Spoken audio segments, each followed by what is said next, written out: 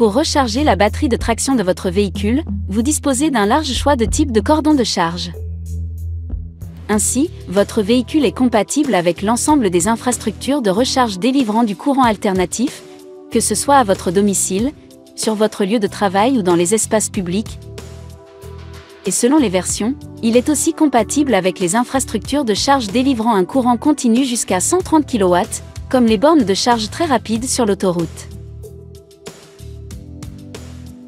Le cordon de charge mode 3 permet de récupérer jusqu'à 50 km WLTP en 2 heures, sur une wallbox 7,4 kW. C'est également le cordon le plus adapté pour charger votre véhicule dans l'espace public. Il permet de récupérer jusqu'à 230 km WLTP en 3 heures, sur une borne publique de 22 kW, le temps d'un rendez-vous.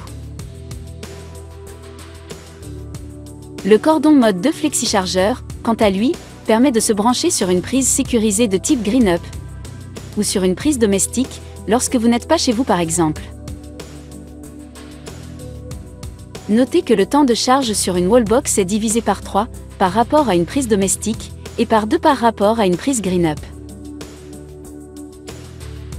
Enfin, votre véhicule peut être équipé d'un connecteur de système de charge combiné, permettant une charge très rapide en courant continu.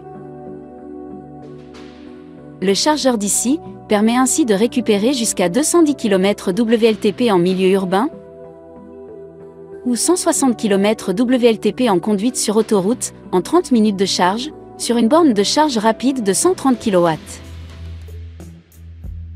Avant de recharger votre véhicule, coupez le contact et assurez-vous que le frein de parking est serré.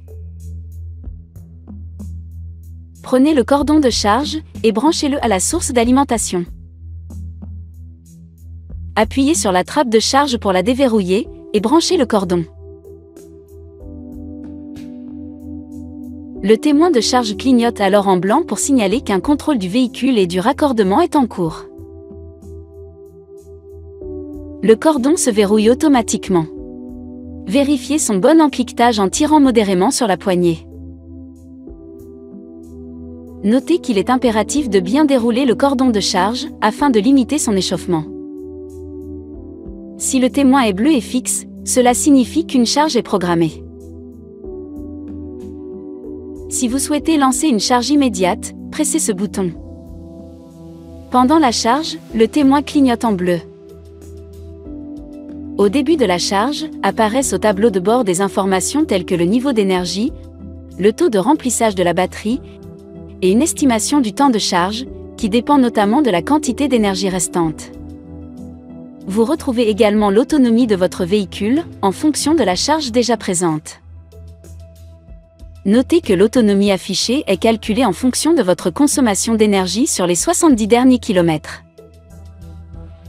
Ce témoin, quant à lui, indique que le véhicule est branché à une source d'alimentation. L'affichage au tableau de bord s'éteint après plusieurs secondes. Il réapparaît dès l'ouverture d'une des portes il est recommandé de paramétrer un niveau de charge maximal de 80% pour un usage quotidien de votre véhicule. Cela vous permettra de bénéficier d'un temps de charge réduit, tout en préservant la durabilité de votre batterie. Pour ce faire, rendez-vous dans le monde véhicule de votre système multimédia OpenAirLink. Sélectionnez le menu Véhicule électrique, puis Batterie et réglez le niveau de charge de batterie de votre choix. À la fin d'une charge complète, le témoin de charge est fixé vert. Notez que si le témoin de charge s'allume en rouge, cela signifie qu'il y a une anomalie de fonctionnement de la charge. Branchez-vous alors à une autre borne de charge. Si le problème persiste, faites appel à un représentant de la marque. Pour débrancher le cordon, procédez toujours dans l'ordre suivant. Déverrouillez le cordon de charge en appuyant sur ce bouton. Débranchez le cordon, puis fermez la trappe de charge en effectuant un appui pour la verrouiller. Enfin, débranchez le cordon de la source d'alimentation puis rangez-le dans le compartiment de votre coffre prévu à cet effet. Notez que vous ne pourrez pas démarrer votre véhicule tant que celui-ci est branché au cordon de charge. Il est conseillé d'éviter de stationner votre véhicule dans des conditions extrêmes de température, cela peut influer sur la charge de la batterie. Notez enfin que vous pouvez lancer une charge ou la programmer depuis votre système multimédia OpenAirLink,